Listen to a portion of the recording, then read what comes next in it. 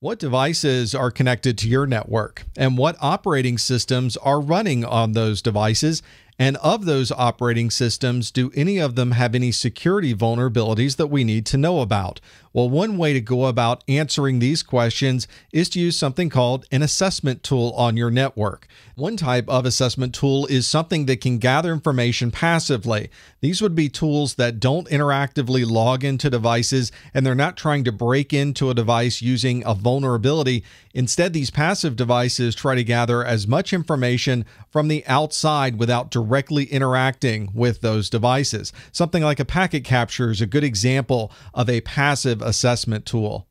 But if you really want to go after a system and really see how much information you can get by knocking on the door or trying to see if all of the windows are open, you can use something like an active assessment tool. These devices are things like vulnerability scanners that are configured to log into devices to see what might be inside of that machine. They could be things like honeypots or port scanners or even devices that are designed to grab banner information when you first connect to a device. These are actively logging in and actively interacting with those devices, so we put them in the category of an active vulnerability assessment tool.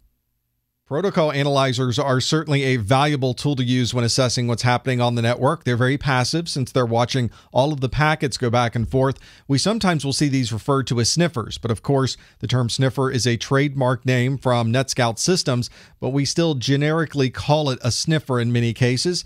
This is really gathering everything from the network. So all of the traffic that goes by is gathered, captured into memory or onto disk, and we're able to go back and see what happened on the network when all of that traffic was going back and forth. One very popular open source version of a protocol analyzer is Wireshark. You can download this for free, load it on your system, and begin gathering packets immediately. If you really want to see the way an application interacts with your computer, or you just want to have an idea of what's going on across the wire, then Wireshark is an excellent tool to use. If you're interested in knowing the way an application works across the network, or you're just curious about traffic that may be going across the wire, then a protocol analyzer like Wireshark would be an excellent tool to use. And it's remarkable how much information is going across the network that is completely in the clear. You can gather information about where people are going, what they're surfing, the websites they connect to, email information, and even passwords can be found just by analyzing the traffic that goes over your network. Vulnerability scanners are a very useful tool to try to see if there are any problems with applications or servers or operating systems that you might have in your environment. This is going to give you an idea of where problems might be. Application vulnerability scanners are focused in the way that applications operate. So if you're trying to find a cross site scripting problem or you want to check to make sure there's not a database injection vulnerability, then an application scanner would be an excellent choice. Operating system scanners look at the entire operating system, not just the applications that are going over them. And if you're thinking about those monthly updates you get from Microsoft, that are telling us to patch our systems. And every month we get a series of patches from Microsoft. It's these types of scanners that are going to be able to tell you if you are completely patched up or if there are any holes that a bad guy might use to take advantage of one of these known vulnerabilities. There are a lot of different options for both application scanners and operating system scanners. Certainly, commercial scanners are available. There's also a number of open source scanners. Just depends on what you would like to be able to scan and just how much information you would like to gather from from these scanners. There's a number of different vulnerability scanners that you can download and try for yourself. One of the scanners that's been around for a very long time is called Saint. It used to be called Satan, and it's one that you can download and install and run on your system.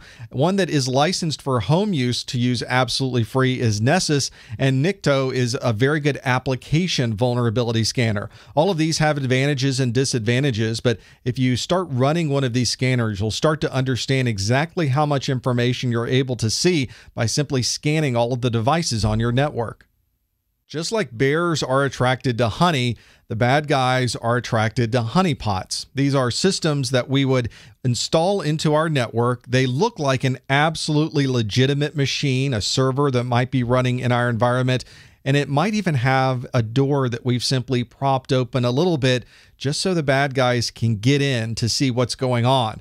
And the idea is to get them inside of this system and trap them into what might be happening. A single standalone device we call a honeypot so the bad guy connects to this single system, and now he's looking at file information. He's going through the file system. He's trying to log on or even take care of a vulnerability, not understanding, of course, that this system is one that we completely created just so we can trap him here while he performs all of these vulnerability checks. If you want to get a lot of honeypots together on your network, you would have a honey net.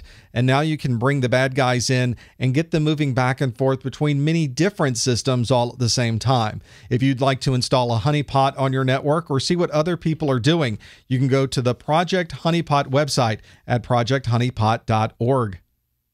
Port scanners are used to try to determine what type of open ports might be available on a system. So if you want to see what a firewall may be passing from a port number perspective, you would want to use something like a port scanner. This is also a good tool to use if you'd like to identify what an operating system might be or what a specific application version might be running on that operating system based on some of these open port numbers. You can very often determine all of this information without ever logging in, authenticating, or running that particular application. If you've ever used a port scanner before, you know that if you're doing a TCP port scan, that it's using this three-way handshake to be able to see if those ports are open. Now take that same idea, do it across many thousands of port numbers on a device, and then do it across all of the devices on your network, and you'll see how a port scanner can be a valuable network reconnaissance tool. Another useful reconnaissance tool that can be used for assessment is one that can grab banners from the services that might be running on a machine.